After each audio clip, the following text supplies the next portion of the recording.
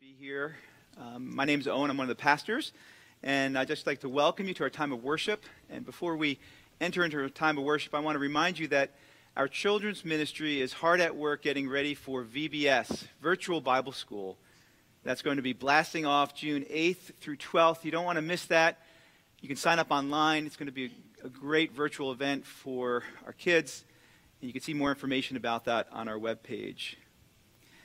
You know, we're a community that celebrates all that God is doing in our lives, and today we have an opportunity to see a short video of some testimony of some folks in our church who are going to share about their thankfulness and how God has been faithful to them. So we're going to take a moment just to see these snapshots of God's faithfulness to some folks in our community as we prepare our hearts for worship. Let's look to the Lord as we watch this short video.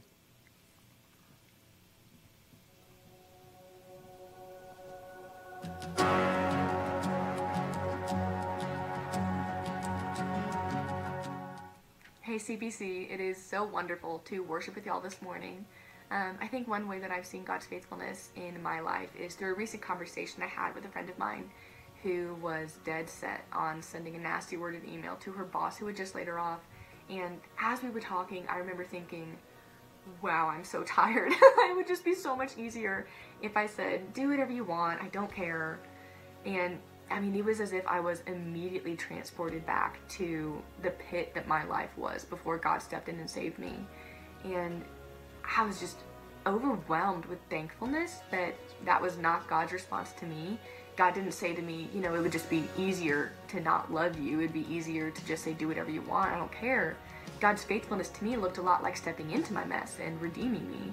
And I think we have such a unique opportunity in all this COVID craziness to not only step into our friends and family's messes, but to also do the hard work of showing God's faithfulness to them. I'm Linda Lloyd, and my life has changed so much the last two months. Like everyone else, COVID 19 has demanded a life of quarantine. The shutdown of businesses has dramatically affected my husband's employer. How I do my job here at church changes daily. Loved ones have lost their jobs. My brother-in-law's cancer suddenly returned and he and my sister came to St. Louis to live with us for treatment. The list goes on and on. It's hard. Everything's out of my control. However, I'm not letting anxiety and fear rule my life because the most important thing in my life is not changing. I remind myself daily that God's love for me has not changed, God's plan for me has not changed, God's grace and mercy for me has not changed. God's not surprised by what's going on in the world or in my life. He is faithful and unchanging. Because of this and only this, I'm finding peace and hope and much joy in the small, sweet moments together I'm having with my family, even with so much stress and sadness surrounding us. My comfort is in Him. He has me on my knees, and that's where I need to be. Good morning. We're Ken and Beth. And as we are here sheltering in place, um, we're reminded of God's faithfulness to us as we live simpler, simpler lives. Um, he has been faithful to uh, love us and care for us and remind us that we're not in control, that He is leading us and caring for us every day. Um, I'm grateful for the simple gifts He gives us of family and friends and our daily bread. And I see God's faithfulness every day in creation. He created the laws of nature, changing seasons, the spring flowers and the bird songs and the frogs. This could be the middle of winter, and it's not, and I'm thankful to him that it's spring.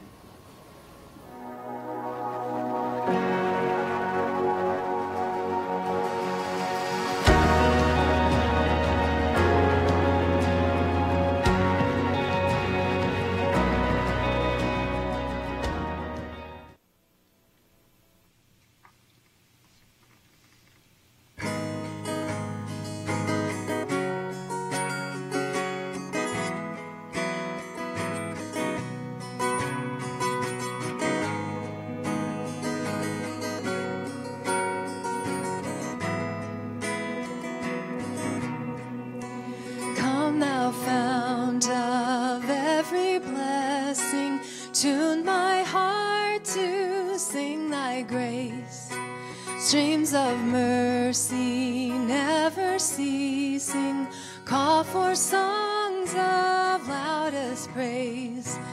Teach me some melodious sonnet, sung by flaming tongues above. Praise the mount I'm fixed upon it, mount of God's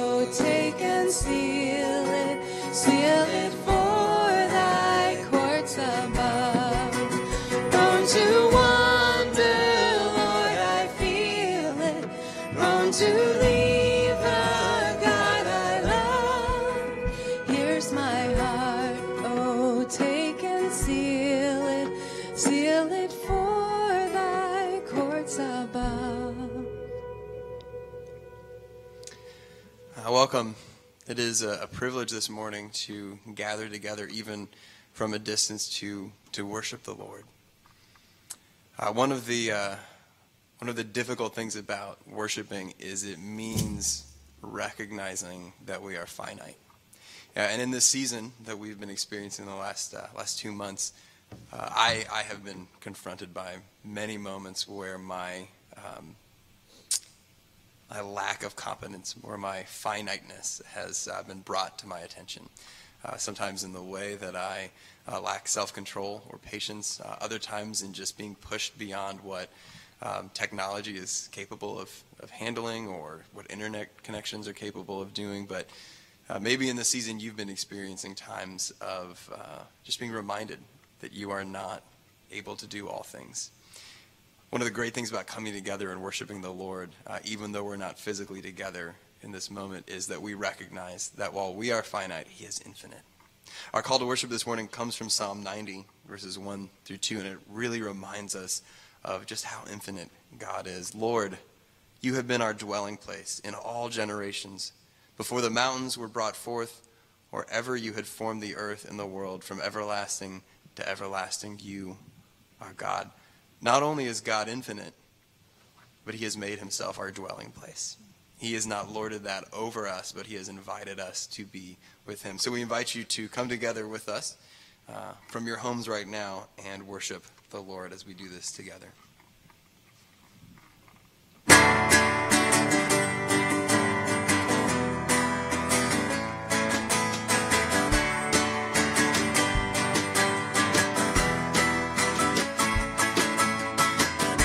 Arise, my soul, arise, shake off your guilty fears.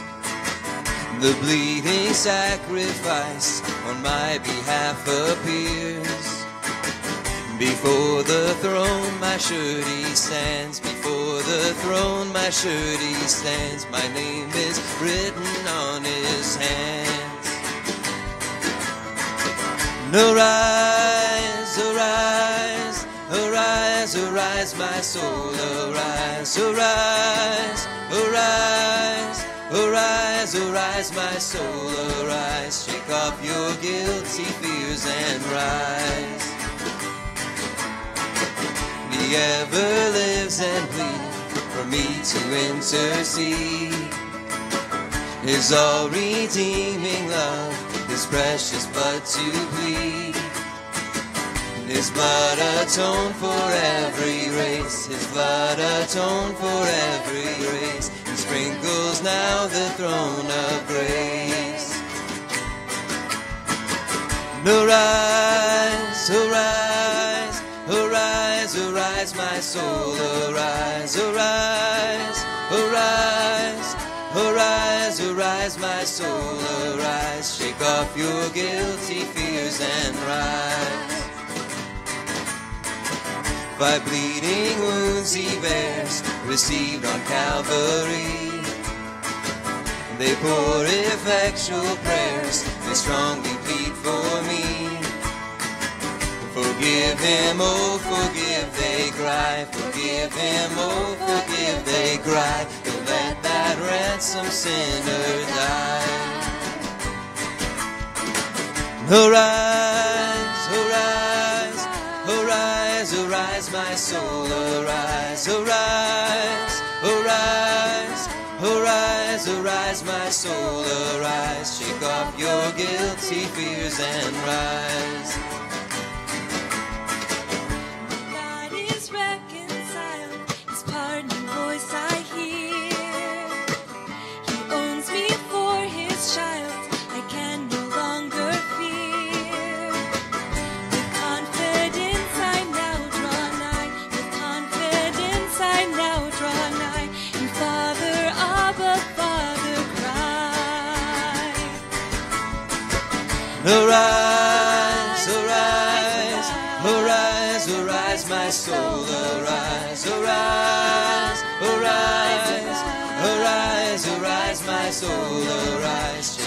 Your guilty fears and rise.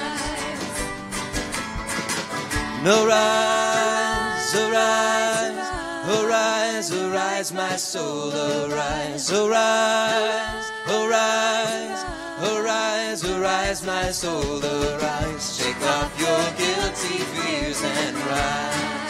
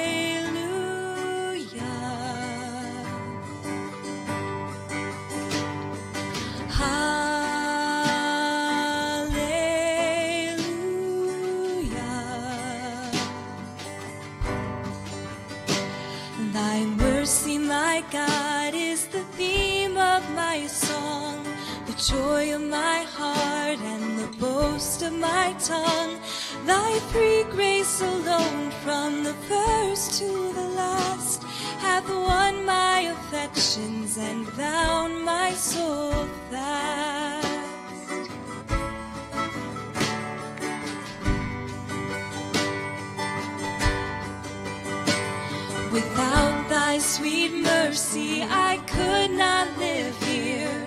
Sin would reduce me to utter despair. But through thy free goodness, my spirits revive. And he that first made me still keeps me alive.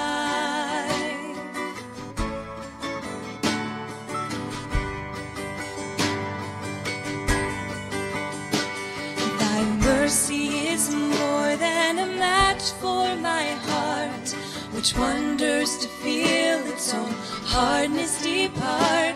Dissolved by thy goodness, I fall to the ground and weep to the praise of the mercy I've found.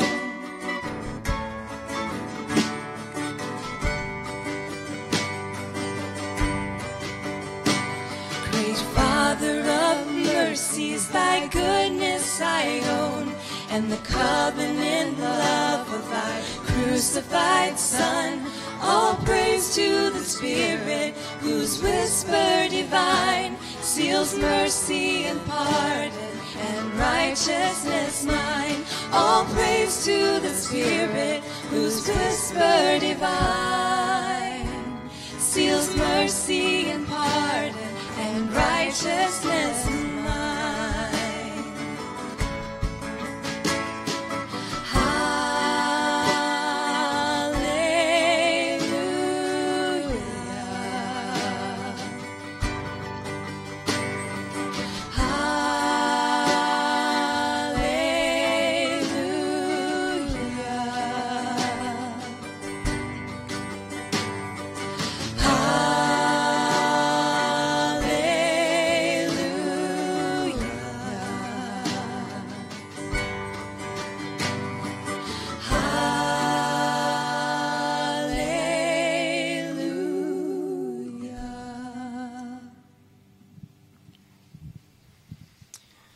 Just sang the words, Without thy sweet mercy, I could not live here.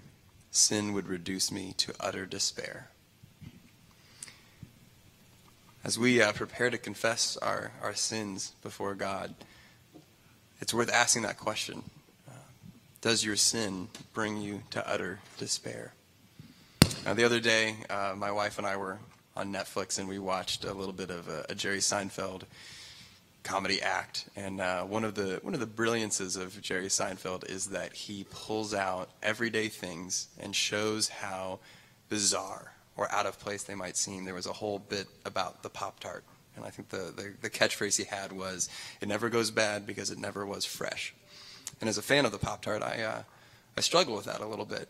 Um, but it made me think about my my own life I didn't think about it in that moment. But later on, as I thought about that, and I, I considered how easy it is for sin to, to seem commonplace, for me to become comfortable with the things I do, and maybe I, I justify them. Well, they're not as bad as this.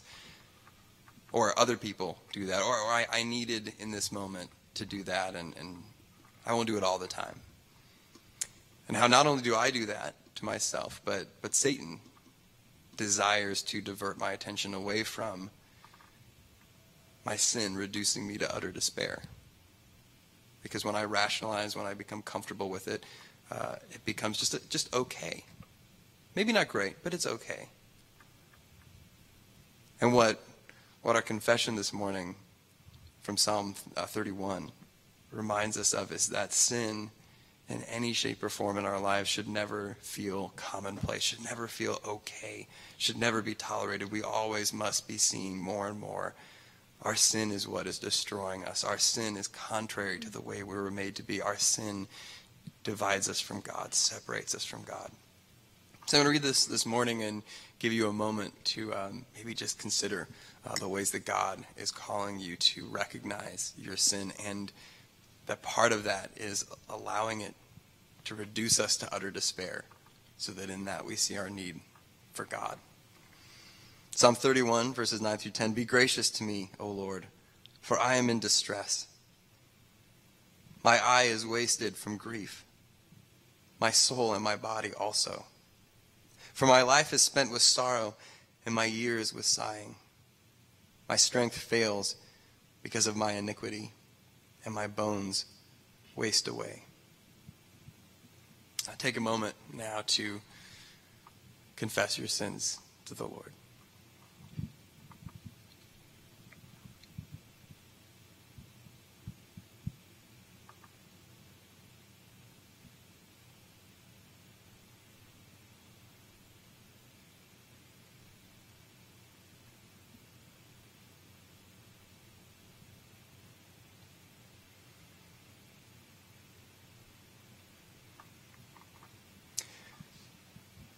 Not sure what uh, what it's like in your household right now, but I know uh, in the past couple of weeks in my household that is not a moment of silent confession.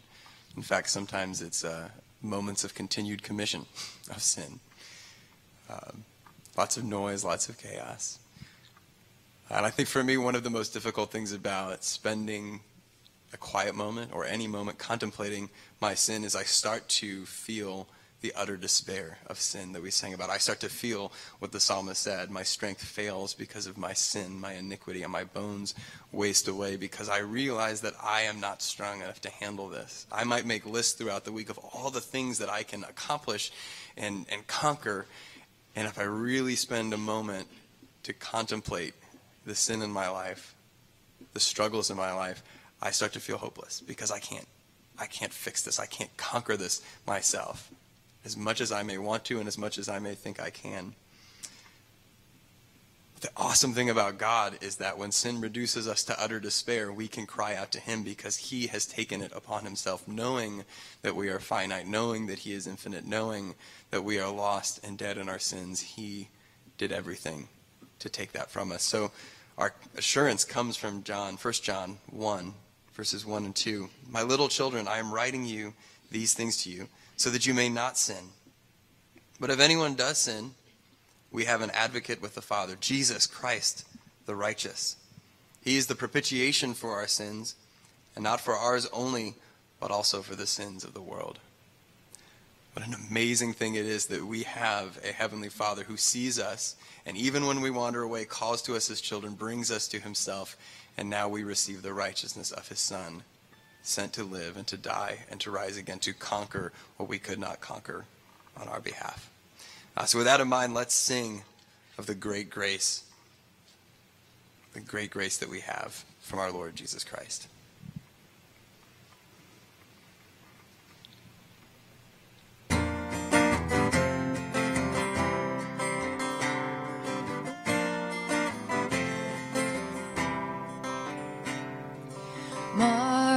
Marvelous grace of our loving Lord, grace that exceeds our sin and our guilt.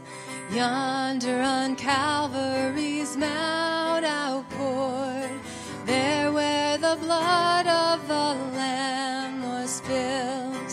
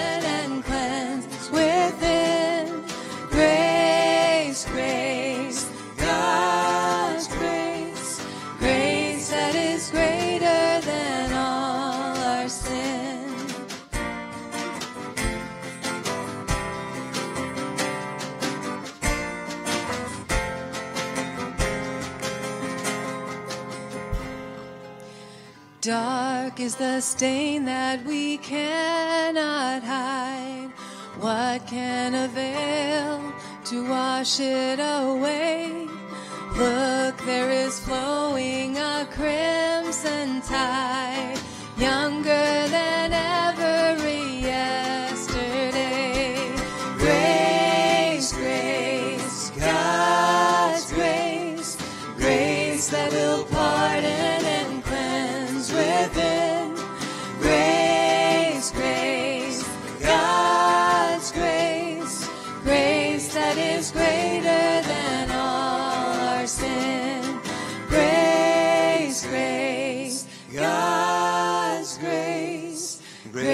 grace that will pardon and cleanse within.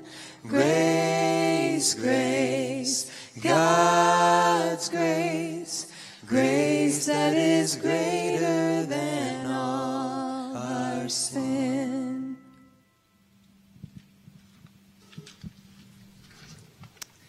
Amen. Well, before Hugh comes and shares the message this morning, we want to take a moment to recognize and celebrate our graduates. Uh, each year around this time, we take a moment to celebrate all of our graduates and our church family. And this past week or so, there's been many special, special times of online and drive-by celebrations for many graduates. In fact, even our preschool had a car graduation parade, which was a lot of fun. Our high school ministry crew celebrated those graduating high school, and we were able to watch online special service graduation for Covenant Seminary. And there are others that graduated from college, from graduate school, and so many other schools, and we just want to recognize them and celebrate them this morning. So if you've graduated from preschool all the way up to graduate school, wherever, we want you to stand, and we're going to clap for you. Yes, that's right. You have to stand right now. So go ahead and stand up, and we're going to clap for you. Way to go. Yeah, all right. We're glad, and we're glad the way that the Lord has worked to bring you to this point, and we want to pray for you. So let's uh, pray together and celebrate our graduates. Lord, thank you that we can celebrate our graduates today. Thank you for their hard work, their dedication, their perseverance, that you enabled them to get to this point. We know, Lord, that this is just another page in the story that you are knitting together for each of our graduates. And we pray, Lord, that you would guide their next steps. Lord, we celebrate them and thank you for their families. Thank you for this beautiful milestone and pray for them as they transition to many different places in many different, in many different ways. Lord, may you continue to give them strength and guide each one. May they use their gifts to build your kingdom. And we ask this all for your glory in your name. Amen. Thanks, Owen. Good morning. And this is at CPC, this is our graduation Sunday. And we, every year at this time, we really have quite a celebration with all the different ages and stages, people making transitions. And of course, it is a different kind of year. But we add to this is a transition coming in our culture. And I want to pause here for a moment and, and just share a couple announcements that are a significant part of our church life. The first one is that our St. Louis County is saying that in May 18th, businesses and various uh, meetings and gatherings will open up and in a limited way. So, as a church, we're going to be reopening on May 31st. We're going to move into that period where we reopen. Now, it's going to be done in a limited way. And maybe I just want to pause and tell you a little bit about the philosophy we have here that we at CPC want to be ministering in the gospel with four basic ideas. First of all, faithful to our vision. We're living for Christ so that others might live. This is an urgent time of need for all of us we have needs all the time, but there's a desperate sense of loneliness and despair creeping into our culture. CPC lives in Christ. We live for Christ, and we recognize the need we have, the need we have to share that ministry. Our ministry needs to continue. We want to be faithful, we want to be wise. We're going to be opening May 31st with a limited kind of opening. It'll be limited by numbers.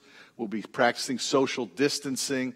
We'll be doing a number of things to keep everybody safe, and that's just wise in our time together. Uh, we want to also be creative. We're not only going to meet on Sunday morning, there will be other gatherings that we have, perhaps some outside, perhaps other venues and parts, but we want to be a church that's creatively serving you in the next months, and you'll be hearing more information about that. We'll always be coming to you virtually. Mean, if you want and feel that you need to stay home, we're going to be here with you. But then the final thing is not only faithful, wise, creative, but also flexible. The realities can change. And we want to be evaluating and adapting to those changing realities, no matter what direction they take us. So that, that's just something to keep in mind. May 31st, we'll see some of you here. We won't be able to have everybody, but then we'll eventually, whether through multiple services or through other menu, venues, find a way to be together for the community of CPC. Second thing, I want to update you on something. Our COVID relief fund has been an extraordinary outpouring of generosity. We have received from CPC, from our CPC family, over $60,000 in COVID relief fund. And some of that money has already begun to go out. And so we're thankful for that. But because you've been so generous, we're going to ask you to pause for a moment now and uh, hold back from the giving to that fund for a while. As the next months unfold, we'll be giving to those in need. But we're so thankful for the, those who've already received funds and help in this time of need, and uh, we're thankful for the generosity, the way you poured out your gifts to the Lord. So we're going to look at Galatians today, Galatians chapter 6, and we've been overcoming fear and boredom and irritation and a number of realities that we face. But today we're going to overcome and think about how God can help us to overcome discouragement. Discouragement. And I have a special every May 17th, every graduation Sunday, there's a moment where we, we stop and, and in one sense, I tailor this message to you, graduates. And I want to pause and say, of course, this is a tough time. There's a sense of discouragement. You're deciding to go off to college. Is that going to happen in the same way you thought it would? Those graduated from graduate school or college, have you been able to find a job? It can be discouraging looking around and looking about and, and figuring all that out. There are numbers of times in our lives where we feel discouraged, and I have reflected a lot in these last weeks about discouragement, how we try certain things. Some of us are technically discouraged right now, aren't we? We're trying to get onto the internet. We're trying to upgrade our computers. We're trying to learn how to do Zoom. We're trying to learn how to do FaceTime. And it's discouraging because sometimes it works. Sometimes we don't know how it works. We're learning and adapting. It's frustrating and we can want to give up. Other times it's, it's more basic issues, the issues within our hearts, the loneliness and the personal challenges we have, those just seem to multiply the more time we spend alone with ourselves. So I want to encourage you today. And maybe the first encouragement I give you comes from one of the most famous people. Winston Churchill was in 1940. He was visiting a small school. It was called the Harrow School. And he was honored that day. Now, 1940, Britain was a time of real distress. The bombings of Germany had begun. The people of God were under what they called the Blitz. The people, when they heard the sirens, would have to run to the subway. They'd have to run to places of shelter. And they would huddle down in masses, and the bombs would fall, and then the all clear sign, they would come back, and it would happen again and again and again. And the Air Force was fighting off the Luftwaffe, and they were finding some battles, some victories, but there was the uncertainty and the frustration of how long would this go on. Winston Churchill gave one of his most famous speeches to a, a group of students. So, graduates, members of our church, those who are here today, listen to his words. He says, We don't know what's going to happen. There seems to be a wave that has come, and maybe another is coming. There are those who have imaginations that can make things out to be worse or maybe what they'll be. But my words to you, he said, are this never give in. Never give in. Never, never, never. In nothing great or small, large or petty, never give in. Except to the convictions of honor and good sense. Never yield to force. Never yield to the apparently overwhelming might of the enemy. What a powerful description of overcoming discouragement, of being so encouraged that you dig in and you continue to do the things we would say that God calls us to do. Well, this kind of commitment, this kind of courage is found in this passage in Galatians chapter 6. I'm going to read it for you here today. Let's look at it. It says, Do not be deceived. God is not mocked, for whatever one sows, that will he also reap. For the one who sows to his own flesh will from the, from the flesh reap corruption. But the one who sows to the Spirit will from the Spirit reap eternal life. And let us not grow weary of doing good, for in due season, in due season, we will reap if we do not give up. So then, as we have this opportunity, let us do good to everyone, and especially to those who are of the household of faith. Let's pray. Lord, I just pray that as we look at this issue of discouragement, that we would recognize that the Bible teaches on it. God speaks to us about it because it's a reality of all our lives. There is such a temptation to give in, to give up, to go our own way, to walk in this path of courage and commitment in the midst of so little results or so little opportunity seems to be futile. And so, Lord, we pray that you would give us the kind of courage, the kind of encouragement that we would live not in our own strength, but in the power, in the strength of the Holy Spirit, whom you have given us. And so we thank you for this in, in Jesus' name. Amen. It's probably one of my favorite shows, um, long, many years, but even more recently, Bear Grylls, when he goes outside and he attacks the outdoors. Bear Grylls is from England and actually has a, a real commitment to Christ. He was a ranger kind of soldier who went all about the world serving in the military for England, but then now is doing all kinds of outdoor adventure. And so he oftentimes in this new show, Bear Grylls will take celebrities out into the wilderness. He teaches them how to live off the land for 24 hours. He challenges them to jump out of a helicopter with a parachute or to do something that's terrifying. Oftentimes there's some kind of eating of outdoor stuff that you would never eat in your normal life. But one of the challenges that almost always comes is the rappelling or the climbing.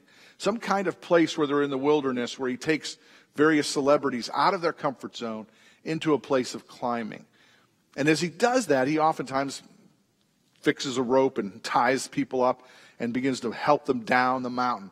But one of the things when they're going up, especially, or down, that he says to them as they're clinging to the mountains is that they have to realize that as they're holding fast with their hands and digging in, that he'll remind them again and again and again of two things.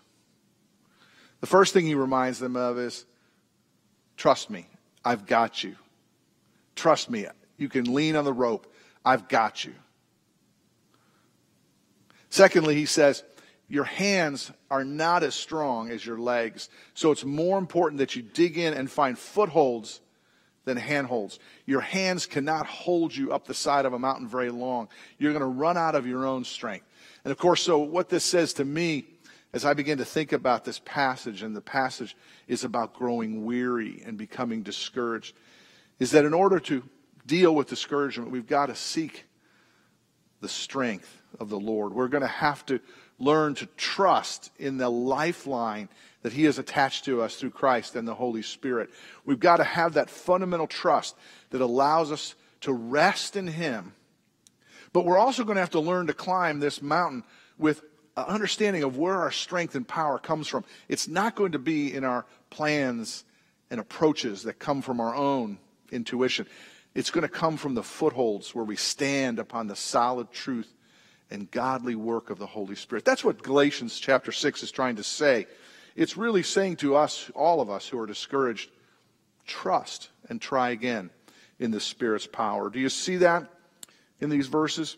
It talks about in verse 8, sowing to our own flesh, that we will oftentimes try to go our own way or do things in our own strength. But this passage reminds us that, that we're to sow or invest or express the life of God, the life of God through us in the Spirit. We're to trust in God and try again in His Spirit's power. And so that's what this passage is driving at. It's interesting to note that discouragement is found throughout the whole of the scripture. You go back to the Old Testament, Moses became discouraged leading the people of God. He became so discouraged, he became frustrated, he literally hit the rock with, with his staff in order to bring water out. And for that, he was disciplined by the Lord. We know Elijah, for instance. Elijah was the great prophet. Do you remember that? There in the prophet Elijah was fighting the prophets of Baal, and he, he was fighting against Ahab and Jezebel. And do you remember? He became discouraged. And it was surprising, actually, because he became discouraged after one of his greatest victories.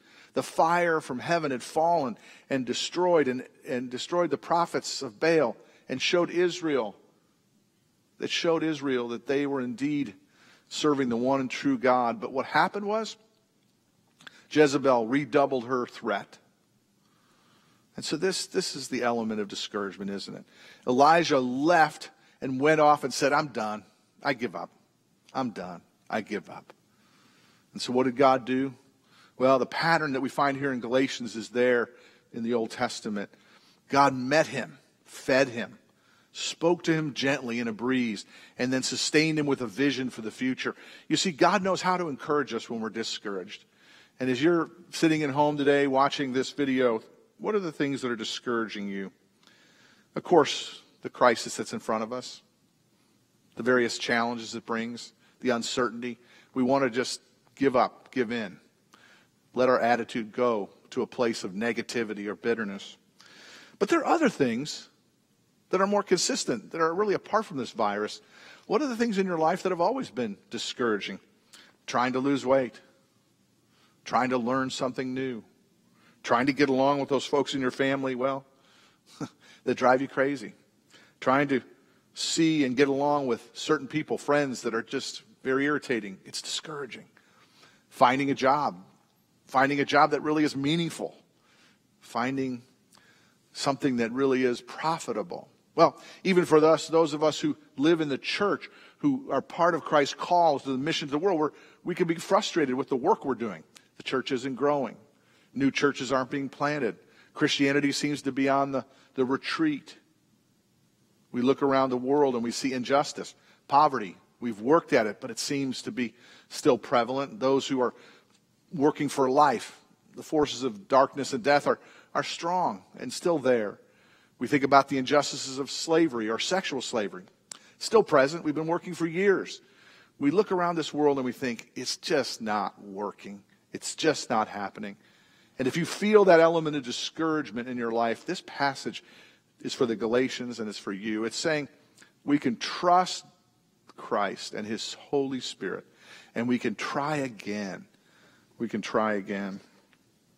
So, how, how are you discouraged? In what ways? I wanted to unpack that for a moment. I think we're discouraged sometimes. In this passage, the verse 6 and 7 begins Do not be deceived. God is not mocked. Whatever one sows, that he will also reap. We give up. We grow weary and we give up. We become discouraged and then we despair and then we stop doing the things we know to be true. Why? Because we feel they're of no, they're really of no value. They don't work. I wrote down four things that I think discourage me when I try to control what we, I can't. I'm trying to control other people's responses. I'm trying to control the world and how it reacts. Now, that's always going to be discouraging. Sometimes it's discouraging because we don't see results. I listened to one uh, commentator who's a general describe what it meant to be in the military. And he said this, and it just struck me. He said, military operations are working in a resistant element. Sometimes a phrase just strikes me almost as humorous. Um, we're now, all of us, working in a resistant element. Everything we do is just a little more difficult, and that makes it discouraging. And then, most of all, when you find yourself all alone, when you find yourself all alone, or you feel all alone, there is where we're prone to be discouraged and begin to despair. So, what do we do? What do we do when we're discouraged? This passage tells us very simply when you're so discouraged, you should begin to sow, to sow, to plant your life in the Spirit. Do you see it there?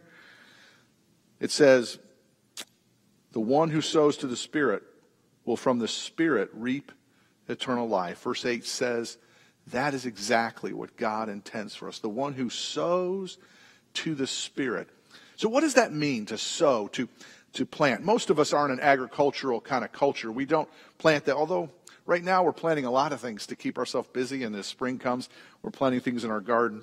So, we know what it means to plant a seed or to plant a plant and look for results. And so, it's that imagery. It's the imagery of, of planting without immediate results. You plant in the spring and you harvest in the fall, in general terms. This is part of the experience of life. So, what is Jesus saying here in this passage? He's saying, first of all, that the Spirit convicts us of giving up. Right now, there are areas of your life like mine that you've just given up. You've just been so discouraged by the lack of results. And the Holy Spirit is saying to us, hey, hey, you've got to keep trying. That's the first uncomfortable part about the Holy Spirit coming into our life. The Holy Spirit comes into our life as a gift, and he assures us of our relationship with Jesus. But one of the first things he does in our life, we're at the beginning or in the middle of our life, as he convicts us. The image I use all the time on this is, is when your hands have been frozen. Literally, frostbite has taken over your hands. Perhaps not to that extent, but you've all experienced when your hands are so, so, so cold. When you begin to warm up your hands, what happens? It hurts. It really hurts. It stopped hurting. It stopped hurting when your hands were cold, right? But when you begin to warm up your hands, you put them under cold water even, your hands burn. This is precisely what the Holy Spirit does in our life. The Holy Spirit convicts us of going our own way. It says, God is not mocked.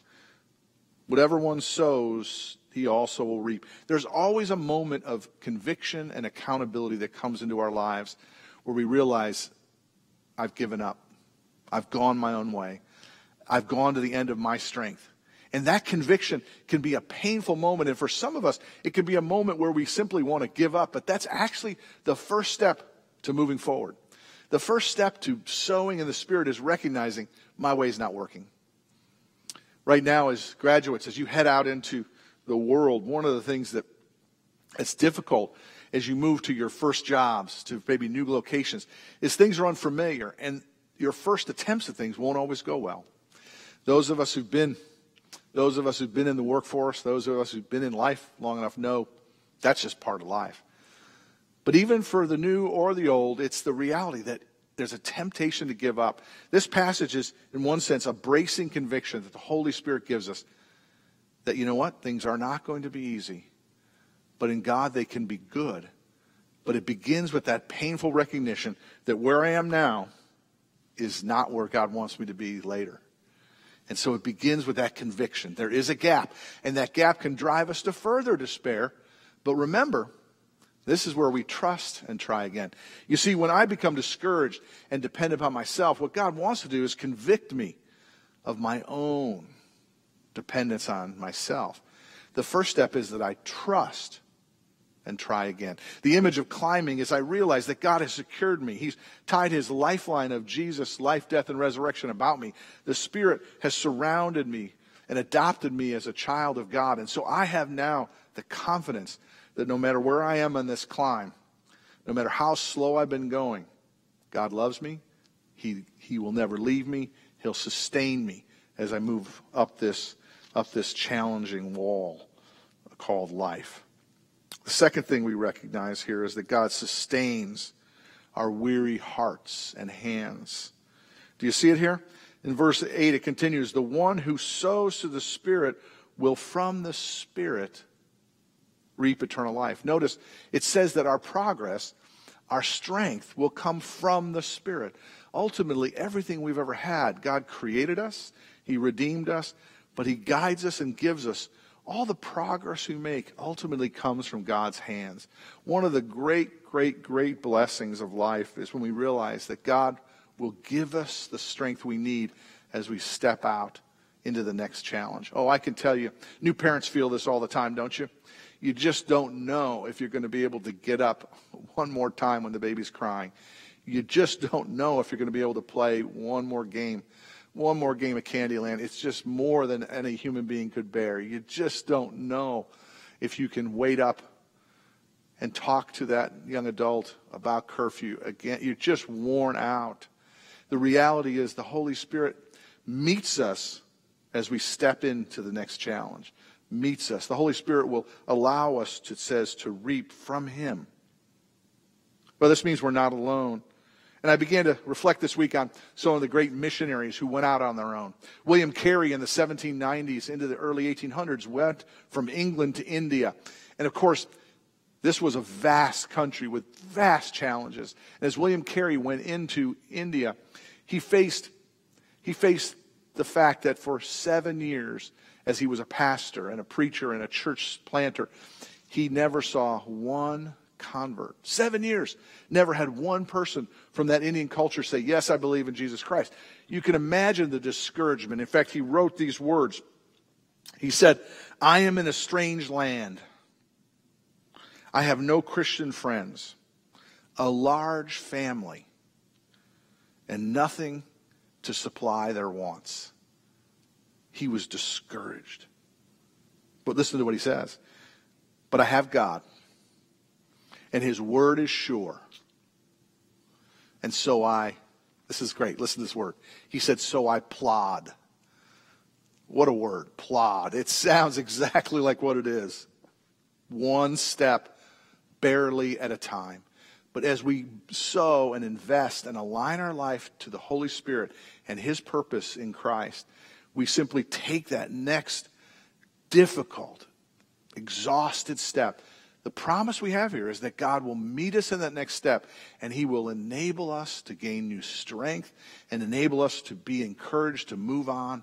He sustains our weary hearts and hands. And of course, we know the story of William Carey that indeed hundreds of folks in his lifetime, and now thousands, and perhaps in one day, millions of people will come from the work that he did in that terribly discouraging time. We're so thankful that he was able to be by the Holy Spirit sustained. Where are you struggling? Where do you need that power of God? The weariness you feel right now will be met by the power of God in the next moment, the next step. He will sustain our hands. But notice what he does here in verse 9. It says, And let us not grow weary of doing good, for in due season we will reap there's an old psalm that talks about this in reverse. It says, In due time, their foot shall slip. It's speaking of the judgment comes upon those who reap. There'll come a day when people reap the evil they've sown. But this passage reverses it. It's saying that if we give our lives to Christ, oh, this passage is not telling us that we earn or deserve the progress, the results that we see in our lives, in our work, in our family. It's saying they're gifts that we're going to receive in due time, in the special season that God has. Of course, we know that's eternity. But we know that God is so gracious that even those eternal blessings creep and manifest themselves in the everyday world we live in. We've seen it all. We're so thankful for the glimpses of the eternal glory. One of my favorite stories of vision. And what this means is my third point is that God lifts our eyes beyond the moment to the ultimate. He lifts our eyes to the harvest. And I've always loved this. It's a true story. Walt Disney started building that theme park right in Southern California. And of course, he had a dream to even go to Orlando. Uh, he had this massive empire in his own mind. He worked for years. He passed away, and I think it was at the groundbreaking at, at Orlando. He was gone, and his wife was there at the great honoring moment. And uh, one of the leaders of Walt Disney turned to Walt Disney's wife and said, I just wish Walt was here to see this. And in one of the great moments, she turned and said, He did see it, and that's why it's here. I love that description of how God gives a person a sense of a vision, a sense of an ultimate result that allows that person to work and struggle and even beyond their own lives see things happen. That's what encourages all of us. We won't see every part of the efforts of our lives, but God says, don't, don't despair. Don't be discouraged. There's a harvest coming in the future on earth and the eternal new heavens and new earth we can lift our eyes to the harvest. It's interesting, God took Moses as he was discouraged and even disobeyed God. He was blessing Moses in his discouragement. He took him to the top of the mountain. He made him look into the promised land. Do you remember that? In Deuteronomy, he looks into the promised land. He knew that he wouldn't get there, but he knew God's people would. And he knew ultimately in eternity he would get there. And so he recognizes that God's harvest will cover and overcome these momentary heartaches. And of course, that great image of Moses is, is translated into Martin Luther King's life in an eerie, unbelievable speech. You have to read and, and see this on YouTube or read about it on Google. You've got to go on. Martin Luther King, just a day or two before he was killed, said, I won't make it to the mountaintop, but that's all right. I won't see all the progress in racial reconciliation in our country, but it's all right so I'm not discouraged, he said, because I've seen, I've seen the glory of God. He uses the imagery of Moses as a preacher, as he was, and describes the fact that he's seen the land where God has done it. And so you and I need to lift our eyes to the harvest and recognize that while we don't have it right here, and while we'll have to step out in the midst of our weariness, God will not only sustain us, but one day he will secure all the dreams and desires that he has for our lives and His world. Along with that, it's interesting. Let us not grow weary of doing good, for in due season we will reap if we do not give up. There's this also this beautiful sense that God convinces us of the worthwhile nature of our path. Yeah. See, a lot of us are thinking, well, I'm not Martin Luther King. I'm not Moses. I'm not Elijah. I'm just a simple guy working away. I'm a simple woman working away in my office, working on little details and small stuff. This passage says that we will reap eternal life.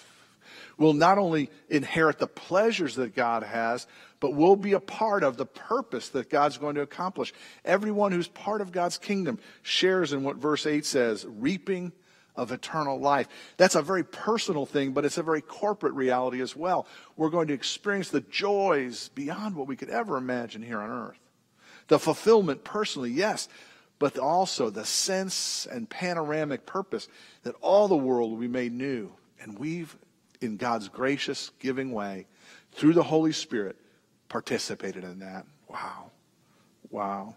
One scholar, and it's hard to find out who this is attributed to it. I heard this years ago whether it was Berkhof or John Murray quoting Berkhof, said this Your studies and your work may be dry as dust, But if that dust is gold dust, how worthwhile, how worthwhile is your labor? You see, if we're working in the dustiness of life, but the gospel work in our lives, oh, not just in our what we call spiritual lives, but in our entire lives, which are spiritual, if it's invaded by the gospel presence of Jesus through the Holy Spirit, whether we work in an office, whether we're on the phone, whether we're Zooming, whether we're going and doing things internationally or right here in our local neighborhood with our family or with large corporations, we are doing something good that will ultimately play a part in eternal life. And so that leads us to the last, the last phrase, the last part. So then, verse 10, so then, as we have opportunity, let us do good to everyone, and especially to those of the household of faith. It's interesting. So then, as we have an opportunity, there's an indication here that the Spirit not only sustains us, the Spirit not only gives us a vision, but the Spirit is at work in opening up opportunities. How great is that to consider? That as I go through my day, as I step out in the power and the gospel through the Holy Spirit, the Holy Spirit is opening doors, opening opportunities in all kinds of ways that would truly amaze us if we really, really saw what he was doing.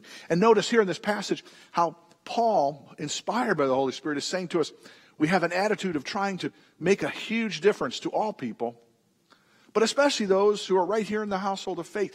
And so, once again, the Bible has this powerful connection between the little and the large. The little things we do every day can make a large difference in the world around us. The local things we do with our families and friends and our church, in this community, can, can reap benefits that can go far beyond, far beyond. So we recognize that God is giving us this opportunity. Churchill, at this talk that he gave, this speech that he gave at the Harrow School, it's interesting. He ended up receiving a hymn the, as was customary in that world, they would write little songs for their schools, and they wrote a hymn or an anthem, a song to Winston Churchill. They weren't worshiping him, but they were praising him for being a great leader. And so they wrote in this hymn, this song that was about Winston Churchill that they began to song for him. Can you imagine the English schoolboys in their little outfits singing a song to Winston Churchill? And he thanked them. But in strong and courageous leader, he said, I have to encourage you. I want to challenge you to change the words of the song. Great leaders often do these kinds of things. He said, I want you to change the last verse from, from darker days. He said these words, and I want to read them. He said, These are not dark days. These are the great days. The greatest days our country has ever lived. And we must all thank God that we've been allowed, each of us, to play a part in making these days memorable in history. When I read that this week, it just struck me. We're not living in dark days. We're living in great days, great days of opportunities. Oh, no, no, there's sadness, there's isolation, there's challenge. But therein lies the greatness that we don't have to be discouraged. We serve a God who is greater than all our sin, that is greater than all the brokenness, sin, and viruses of this world. Jesus Christ is the one who has poured out his Holy Spirit, and he will sustain and strengthen us and move us into a world where it does appear dark, overwhelming, and discouraging, but he will give us the encouragement, the courage to live, to trust, and try again in the Holy Spirit. And so I began to think what this means for us as a church. It means that in the Spirit's power, we can pray for our world. In the Spirit's power, we can begin to go out and work, produce all the things we need to live, reflect God's glory, and share with others in need. We can gather online or in safe places to grow in the Lord and give to others the strength they need to make the changes that we all need to make in order to face the challenges that are indeed right before us. We may decide indeed to wear a mask to help our neighbor be safe. And that could be wise. But even more, we may share a message, a message of the gospel that can literally save people's lives and welcome them into the purpose and passion of the Holy Spirit, where their discouragement would be turned to delight because they know now that this life is not all there is, and the life that they live now has a way of echoing into the life that God's going to bring in the new heavens and new earth. And that's going to fill our lives with encouragement, with courage, as we trust and try again in the Spirit's power. Let's pray. Lord, we thank you for your grace and your goodness in the midst of this time. These indeed are dark, but oh, great times for us to lean and learn from you. Oh Lord, I pray that you would enable us to take hold of your gospel, to trust and try again, to not be discouraged, but to stand up and step out, not in our own strength, not in our own temerity, not in our own confidence or our own agenda, but to stand and step out, to trust and try again in the gospel in all the various places you put us. And we thank you for all of this in Jesus' precious name. Amen.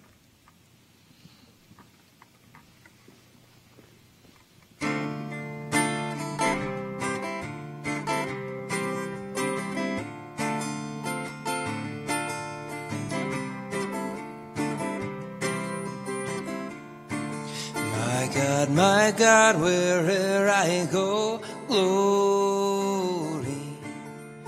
Where I reap and where I sow, glory. When my hand it grips the thorn, glory. In the still and in the storm,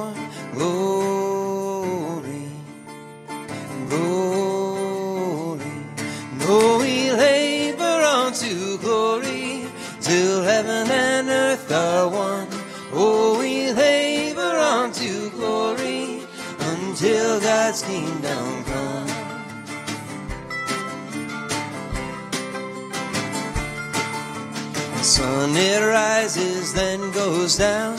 Glory. The rain it falls and beats the ground. Glory. Dust it blows and ends my days. Glory.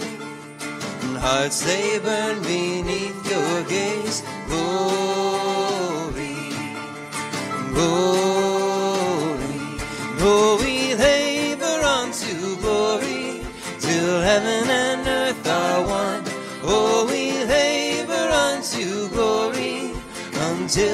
God's kingdom comes.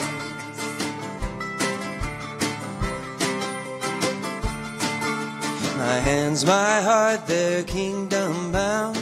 Glory. Where thorns no more infest the ground. Glory. Trim the wick and light the flame. Work it will not be in vain. Glory. Glory. Oh, we labor unto glory till heaven and earth are one. Oh, we labor unto glory until God's kingdom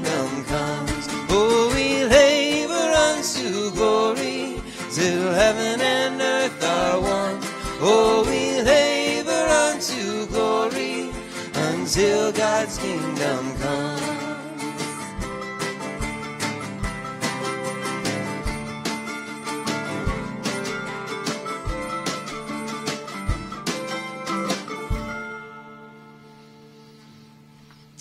Indeed, take courage.